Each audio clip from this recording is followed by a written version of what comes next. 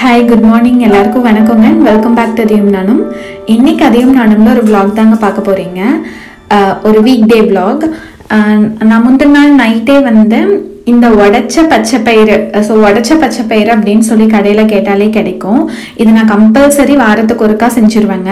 தோசை. பச்சைப்பயிறு தோசை பிசரட் தோசைன்னு சொல்லுவாங்க. இது வந்து உடம்புக்கு ரொம்ப நல்லது. ஸோ முந்தின நாளே நான் அதை வந்து ஊற வச்சுட்டு காலையில் வந்து நான் அதை கழிஞ்சிடுவேன். அதை ரெண்டு மூணு டைம் தண்ணியில் வந்து நல்லா வாஷ் பண்ணிக்குவேன். தோல் வந்து சுத்தமாக சு- எடுக்கணும் அப்படிங்கிறது கிடையாது. தோல் இருந்தாலுமே நல்லாயிருக்கும். இந்த ரெசிபி வந்து நான் ஆல்ரெடி ஷேர் பண்ணியிருப்பேன். ஸோ மறுபடியும் ஒரு வாட்டி நான் உங்களுக்கு புரிகிற மாதிரி சொல்கிறேன் இது வந்து ஒரு நைட் ஒரு த்ரீ ஹார்ஸ் ஊற வச்சாலே போதும். பட் நான் முந்தின நாள் நை காலையில் செய்யணும் அப்படிங்கிறதுனால நைட்டே ஊற வச்சுட்டேங்க. இப்போ வந்து நான் two two three times wash பண்ணிக்க போகிறேன்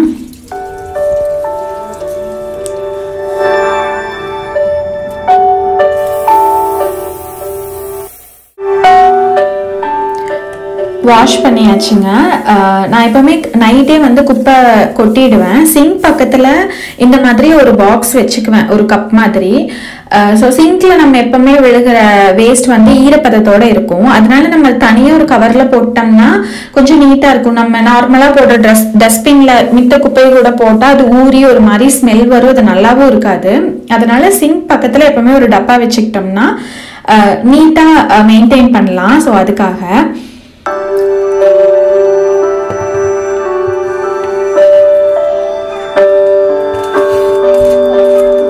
அதுக்கப்புறமா தோசைக்கு வந்து தக்காளி சட்னி தாங்க நல்லா இருக்கும் இந்த பிசரட் தோசைக்கு.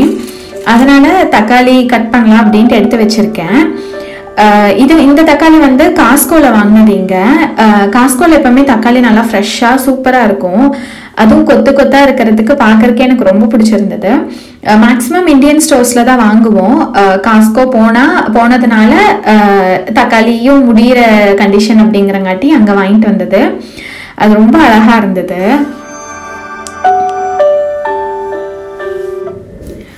அதுக்கப்புறமா ஸோ நான் சொன்ன மாதிரி தான் எல்லா ட்ரா இதுவும் ட்ராஷ்லேயும் வந்து கவர்ஸ் போட்டு வச்சிருவேன் அப்போ தான் வந்து நம்மளுக்கு ஈஸியாக இருக்கும். காலையிலேயே நம்ம எந்த குப்பையாக இருந்தாலும் டக்கு டக்குன்னு போட்டுடலாம்.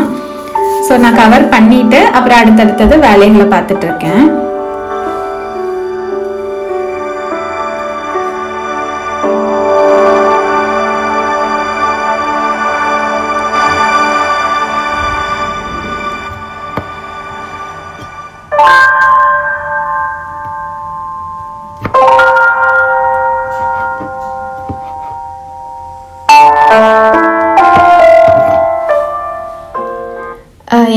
முடிஞ்சிருச்சு. இந்த பாட்டில் நான் இப்போ ரீசெண்டாக வந்து டாலர் மேலே வாங்கினது. டூ அண்ட் ஆஃப் டாலர்ஸோ என்னமோ அந்த ரேஞ்ச் தான். அது நல்லா இருந்தது. கிச்சனுக்கு வந்து உங்களுக்கு பார்க்கறதுக்கே ஒரு அழகான லுக் கொடுத்தது. ஸோ எண்ணெயும் தீந்துருச்சு அப்படின்னு சொல்லிட்டு அதை ஊற்றி வச்சுட்டு அடுத்தது நான் வந்து தக்காளி சட்னி செய்கிறதுக்கு ஆரம்பிச்சிட்டேன். தக்காளி சட்னிக்கு வந்து நாங்கள் வீட்டில் அரைக்கிற மிளகா பொடி போட்டு செய்வது ரொம்ப நல்லா இருக்கும் அண்ட் இந்த செலவு டப்பா இது ஆக்சுவலாக இது ரொம்ப யூஸ்ஃபுல்லாக இருக்குங்க நம்ம கிச்சனில் இருந்ததுன்னா. ஏன்னா ஒரு அஞ்சாறு பொருளை ஒரே டப்பாவில் போட்டு வச்சுக்கலாம். அது மட்டும் இல்லாமல் நான் வந்து எப்பவுமே குக் பண்ணுறப்ப இந்த இதை மட்டும் எடுத்து வச்சிட்டேன்னா எனக்கு போதும். எல்லாமே தேவைப்படுறது எல்லாமே அதில் இருக்கும். ஸோ எனக்கு ஈஸியாக இருக்கும். நம்ம ஒவ்வொரு இதில் டப்பாவில் போட்டு வச்சு நம்ம ஒவ்வொன்றா எல்லாம் எடுத்து பண்ணுறதுக்கு இந்த மாதிரி இருந்தால் நம்ம நமக்கு ரொம்ப ஈஸியாக இருக்கும். ஸோ அதனால் நீங்களும் வந்து இந்த இந்த செலவு டப்பா நாங்கள் வந்து எங்கள் வீட்டு சைடில் செலவு டப்பா அப்படின்னு சொல்லுவோம். அஞ்சரை பெட்டின்னு சொல்லுவாங்க. அது நீங்கள் யூஸ் பண்ணுறதில்ல இல்லை அப்படின்னா ஒன்ஸ் வாங்கி யூஸ் பண்ணி பாருங்கள் உங்களுக்கு ரொம்ப யூஸ்ஃபுல்லாக இருக்கும். அடுத்தது அந்த பச்சை பயிறு தோசைக்காக நான் ஆனியன் கட் பண்ணிட்டு இருக்கேங்க அதில் வந்து வெங்காயம் எல்லாம் போட்டு அரைக்கணும். ஸோ நம்ம கழிஞ்சு வச்சது இருக்கு தோலோட தான் இருக்கு. ஃபர்ஸ்ட் வந்து இதை நம்ம போட்டுட்டு பச்சை பயிரை மட்டும் எடுத்து போட்டுட்டு அதை வந்து நம்ம தண்ணி சேர்க்க வேண்டாம். ஏன்னா அது ஆல்ரெடி தண்ணியில ஊறி தான் இருக்கும். அதனால நீங்க தண்ணி சேர்க்காம அரைச்சுக்கணும். அதுக்கப்புறமா நம்ம வந்து வெங்காயம் ஒரு ஸ்பூன் சீரகம் கருவேப்பிலை பச்சை மிளகா இதை மட்டும் போட்டு அளவுக்கு ஏற்ற மாதிரி போட்டு அரைச்சிக்கலாம். நான் வந்து ஒரு சின்ன சைஸ் பெரிய வெங்காயம் தான் போட்டேன். ஒரு கொத்து கருவேப்பிலை ஒரு ஸ்பூன் சீரகம் ஒரு ரெண்டு பச்சை மிளகாய். நான் வந்து அதுக்கப்புறமா கடைசியாக நம்ம உப்பு போட்டு கலக்கிக்கலாம். அவ்வளோதாங்க இது ரொம்ப ஹெல்தி அண்ட் டேஸ்டியாகவும் இருக்கும். இது வந்து இந்த பெரிய டம்ளர் பெரிய சைஸ் ஒரு டம்ளர் போட்டால் மூணு பேர்த்துக்கு கரெக்டாக இருக்கும்னு வைங்களேன். அந்த மாதிரி.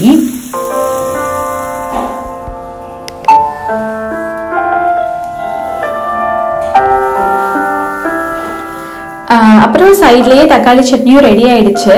அப்புறம் சரின்ட்டு தோசையும் ஊற்றிட்டேன் இந்த தோசை பார்த்தீங்கன்னா கிட்டத்தட்ட ஆம்லெட் டேஸ்ட்டில் இருக்கும். நல்லாவும் இருக்கும். இது சூடாக சாப்பிட்டா மட்டும்தான் ரொம்ப நல்லாயிருக்கும். இதுக்கு தக்காளி சட்னி அண்ட் தேங்காய் சட்னி ரெண்டுமே நல்லாயிருக்கும். நான் இன்னைக்கு தக்காளி சட்னி மட்டும்தான் பண்ணியிருக்கேன்.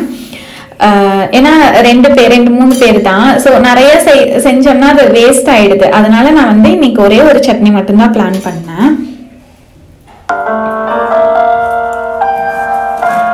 அதுக்கப்புறமா மத்தியானம் வந்து வேச்சு கொட்டின பருப்பு. எங்கள் ஊர் சைடு ஃபேமஸுங்க அதுதான் நான் செய்ய போகிறேன் இதுக்கு வந்து நம்மளுக்கு தேவை தவரப்பருப்பு ஸோ தவரப்பருப்பு முடிய போகுது. ஆனால் நான் எப்பவுமே ஸ்டாக் வச்சுருப்பேன்.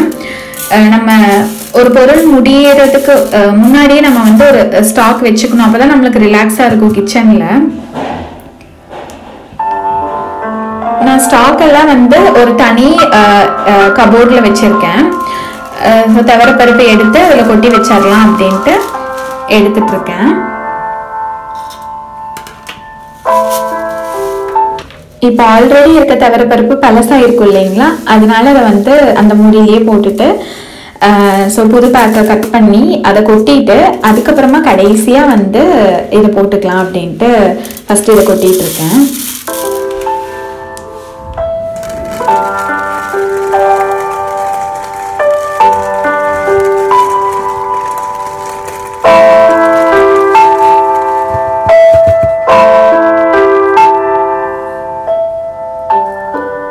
இப்போ கடைசியாக அந்த மூடியில் இருந்ததையும் மேலாப்பில் போட்டோம்னா நம்ம அதை ஃபஸ்ட்டாக யூஸ் பண்ணிக்கலாம் இல்லையா? அதனால நான் வந்து இப்படி போட்டு க்ளோஸ் பண்ணி வச்சுட்டேன். ஸோ அப்பப்போ முடிகிறத அப்பப்போ நம்ம வந்து ஃபில் பண்ணி வச்சுக்கிட்டோம்னா நம்ம செய்கிற வேலைகள் வந்து ரொம்ப ஈஸியாக இருக்கும்.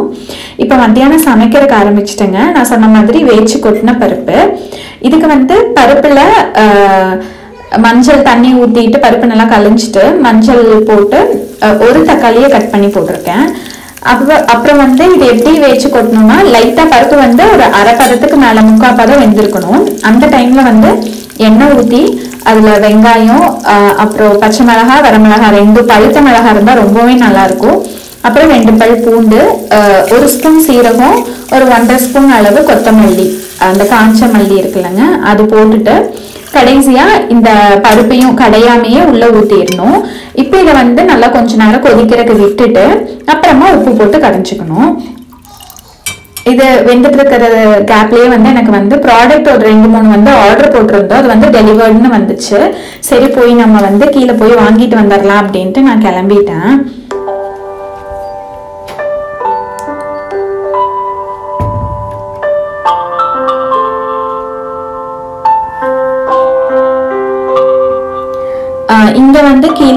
சொல்லிட்டோம்னா நம்ம ரூம் நம்பர் இந்த மாதிரி ஆர்டர் வந்திருக்குன்னு சொல்லிட்டோம்னா அவங்க எடுத்து கொடுத்துருவாங்க. நம்ம வந்து வாங்கிட்டு வந்துக்கலாம். ஸோ வந்து இப்போ மூணு ப்ராடக்ட் ஆர்டர் பண்ணியிருந்தோம். மூணுமே ஒரே அட்ரஸ் அப்படிங்கிறங்காட்டி ஒரே பாக்ஸில் போட்டு கொடுத்துட்டாங்க. மூணுமே ரொம்ப முக்கியமானது தேவை அப்படின்னு சொல்லிட்டு தான் ஆர்டர் போட்டோம். ஸோ நேற்று வீடியோவில் பார்த்துருப்பீங்க புது ஃபோன் வாங்கியிருக்கேன் அப்படின்னு சொல்லிட்டு. இப்போ அதுக்கு வந்து டெம்பர் கிளாஸும் கேஸும் வாங்கியிருக்குதுங்க. ஸோ கேஸ் வந்து பார்த்தீங்கன்னா டிரான்ஸ்பரண்டா வாங்கியிருக்கு. அதான் அப்பதான் வந்து கலர் எல்லாம் நல்லா தெரியும் அட்ராக்டிவா தெரியும் அப்படிங்கிறதுக்காக. ஸோ அதுவும் வந்து டெம்பர்ட் கிளாஸும் வாங்கியிருக்கு. நான் நாமளே போட்டுக்கலாம் அப்படின்னு சொல்லிட்டு வாங்கிட்டோம். ஸோ அதுக்கான அதுக்கு தேவையான ஃபுல் கிட்டோட கொடுத்துருக்காங்க. டெம்பர்ட் கிளாஸ் அப்புறம் அந்த ஸ்க்ரீன் க்ளீன் பண்றதுக்கு அதுக்கப்புறம் வந்து இதை போட்டுட்டு டெம்பர் கிளாஸ் ஒட்டணும்னு நினைக்கிறேன். அது இனிதான் இன்ஸ்ட்ரக்ஷன் படிக்கணும். ஸோ இது ரெண்டும் வாங்கணும். இது கூட வந்து சரி ஒரு ட்ரை ஆல்ரெடி எங்கிட்ட ஒரு ட்ரைபாட் இருக்கு. அமேசான்ல தான் வாங்கினது. அது பாத்தீங்கன்னா நல்லா பெருசு. ஸோ நார்மல் சைஸே வந்து ஒரு ஃபார்ட்டி இன்ச் கிட்ட வரும்னு நினைக்கிறேன். ஸோ அவ்வளோ பெருசு. அது வந்து எக்ஸ்டெண்ட் பண்ணிட்டு போய்க்கலாம் அந்த மாதிரி. பட் எனக்கு வந்து இந்த குக்கிங் வீடியோஸ் எல்லாம் எடுக்கிறதுக்கு uh, கிச்சன் கிட்ட அந்த குட்டி ஸ்டாண்ட் ட்ரைபாட் வச்சாதான் வந்து ஈஸியா எனக்கு எடுக்கிறதுக்கெல்லாம் கொஞ்சம் வசதியா இருக்கும் நான் ரொம்ப நாளா யோசிச்சுட்டு இருந்தேன். பட் நான் வாங்கல. சரி அதே போதும் மேனேஜ் பண்றேன். அப்புறம் இந்த டைம் uh, என் ஹஸ்பண்ட் இதை ஆர்டர் போடுறப்ப இந்த ட்ரைபாடும் ஆர்டர் போட்டு கொடுத்துட்டாரு. இது பாத்தீங்கன்னா சின்ன சைஸ் தான் பட் நம்ம வந்து ஃபார்ட்டி இன்ச் வரைக்கும் எக்ஸ்டெண்ட் பண்ணிக்கலாம். அப்புறம் இதை வந்து நம்ம செல்ஃபி ஸ்டிக்காவும் யூஸ் பண்ணிக்கலாம்.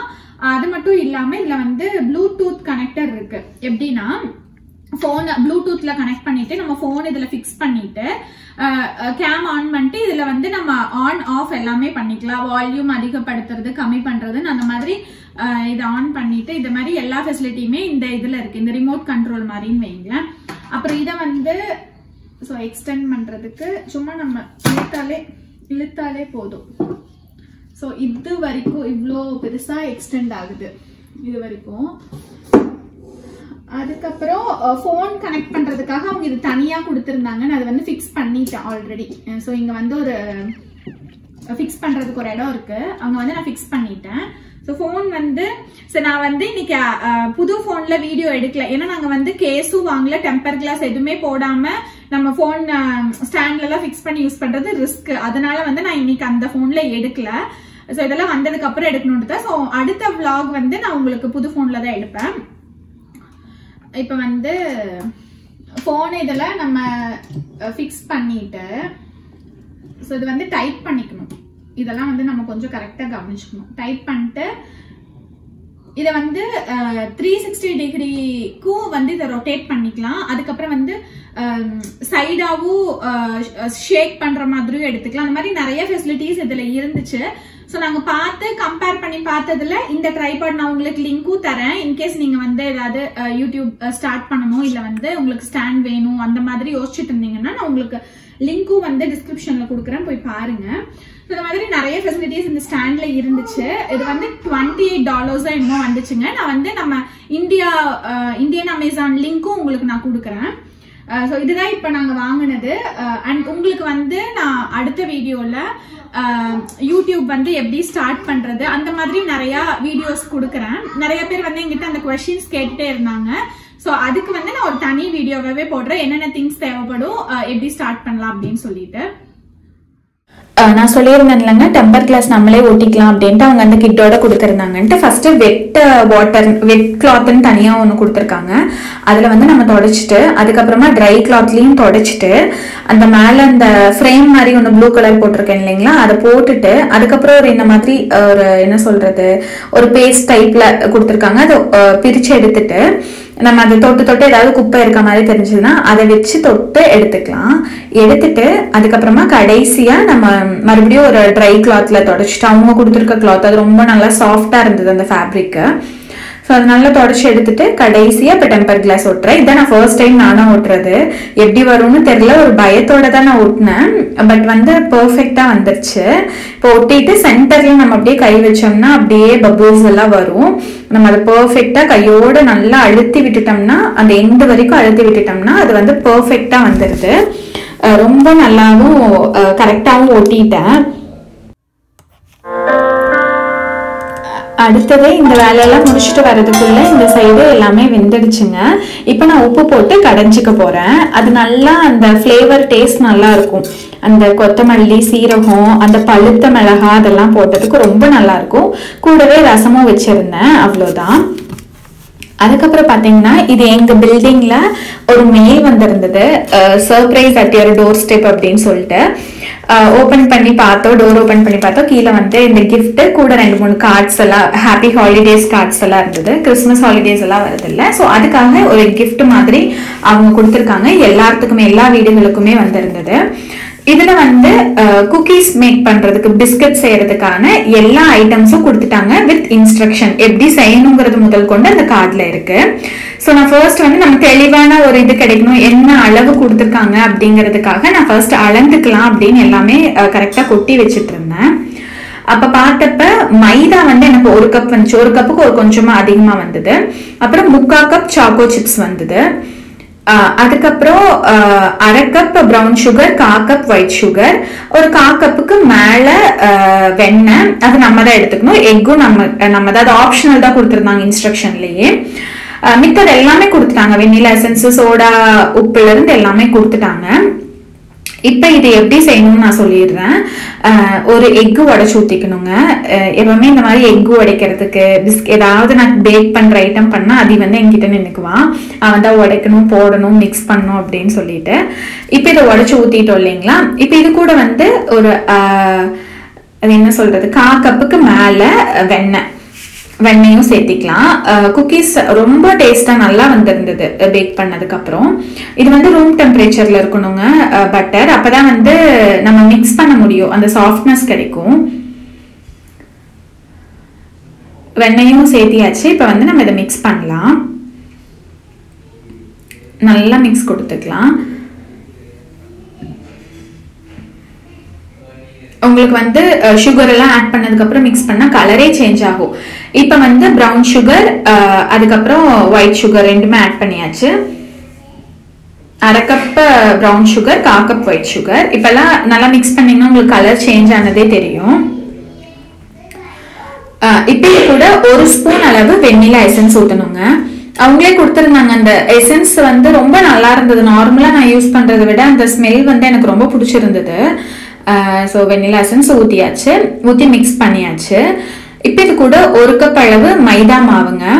அது கொஞ்சம் கொஞ்சமாக சேர்த்தி நம்ம வந்து கலந்து விட்டுக்கலாம். கூடவே ஒரு ஸ்பூன் அளவு பேக்கிங் சோடாவும் ஆட் பண்ணேன். அதை வந்து நான் இதில் எடுக்காமல் விட்டுட்டேன். இப்போ இது கொஞ்சம் கொஞ்சமாக மாவை ஆட் பண்ணி இது பண்ணிக்கலாம். இது வந்து நான் எப்போவுமே வீட் ஃப்ளாரில் தான் இந்த பிஸ்கெட் நான் செய்வேன். அந்த சாக்கோ சிப்ஸ் பிஸ்கெட் அது ரொம்ப சூப்பராக இருக்கும். பட் இவங்க கொடுத்தது வந்து மைதா தான். சரி அதுலேயே செஞ்சிடலான்னு செஞ்சுட்டு இருக்கேன் இப்போ இதெல்லாம் போட்டு மிக்ஸ் பண்ணியாச்சு. இப்போ கடைசியாக இது கூட வந்து முக்கா கப் அளவு சாக்கோ சிப்ஸ் ஆட் பண்ணிக்கலாம். இப்போ இதையும் நல்லா மிக்ஸ் பண்ணி விட்டுறலாம். மிக்ஸ் பண்ணியாச்சு. இதை வந்து நம்ம எவ்வளோ தாங்க எல்லாமே போட்டாச்சு. நீங்கள் இதை ஃப்ரிட்ஜில் ஒன் ஹவர் வச்சுட்டு அப்புறம் பேக் பண்ணாலும் நல்லாயிருக்கும் இல்லை அப்படியே டைரெக்டாக பேக் பண்ணாலும் நல்லா தான் இருக்கும் இதை வந்து பேக்கிங் ட்ரேயில் உங்களுக்கு பட்டர் ஷீட் இல்லைனாலும் பரவாயில்ல. பேக்கிங் ட்ரே இல்லைனாலும் அவனே இல்லைனாலும் பரவாயில்ல. நீங்கள் நார்மலாக இந்த நான் காட்டினேன்ல செலவு டப்பான்னு சொல்லிட்டு அந்த இதுல கூட ஒரு வெண்ணெயை ஒரு லேயர் தடவி இந்த மாதிரி பிஸ்கெட்ஸ் இந்த ரவுண்ட் ரவுண்டா நீங்க ஒரு கரண்டியில எடுத்து வச்சு நீங்க குக்கர்ல கூட பேக் பண்ணலாம். நான் வந்து இதை three seventy five degree Fahrenheit ஹீட்ல bake பண்ணேன். பார்த்தீங்கன்னா நம்ம ரவுண்டா தானே வச்சு அது அப்படியே ஃபிளாட்டா சூப்பரா பேக் ஆகி வந்துருச்சு. செல்சியஸ்னா ஒன் ஃபிஃப்டி டிகிரி செல்சியஸுங்க ஒரு டுவெண்ட்டி மினிட்ஸ் அந்த ரேஞ்ச் தான். நல்லா சூப்பரா நல்லா மொறு மொறுன்னு வந்திருந்தது. டேஸ்ட் வைஸும் அட்டகாசமா இருந்திருந்தது. நீங்களும் இதே அளவுல செஞ்சு பாருங்க ரொம்ப நல்லா இருக்கும். குக்கர்னாலுமே இருபது நிமிஷம் தாங்க. ஒரு லேயர் சால்ட் போட்டுக்கணும். அதுக்கு மேல இந்த செலவு டப்பா வச்சு நீங்க பிஸ்கெட்டை ஒரு இருபது நிமிஷம் போல க்ளோஸ் பண்ணி வச்சிங்கனாலே போதும். கடைசியா நான் வந்து ஏர் டைட்னிங் கண்டெய்னர்ல போட்டு வச்சுட்டேன். சம்படம் நம்ம எங்க ஊர்ல நாங்க சம்படம்னு சொல்லுவோம். அதுல போட்டு நல்லா டைட்டா க்ளோஸ் பண்ணி வச்சுட்டா ரொம்ப நாளைக்கு வரும் நம்ம யூஸ் பண்ணலாம். எனக்கு வந்து ஒரு சிக்ஸ்டீன் டு செவன்டீன் பிஸ்கட் அந்த ரேஞ்சில் வந்துச்சு. அவ்வளோதாங்க உங்கள் எல்லாத்துக்கும் இந்த vlog பிடிச்சிருக்கும்னு நினைக்கிறேன். பிடிச்சிருந்தா கண்டிப்பாக லைக் பண்ணி ஷேர் பண்ணுங்கள் தேங்க்யூ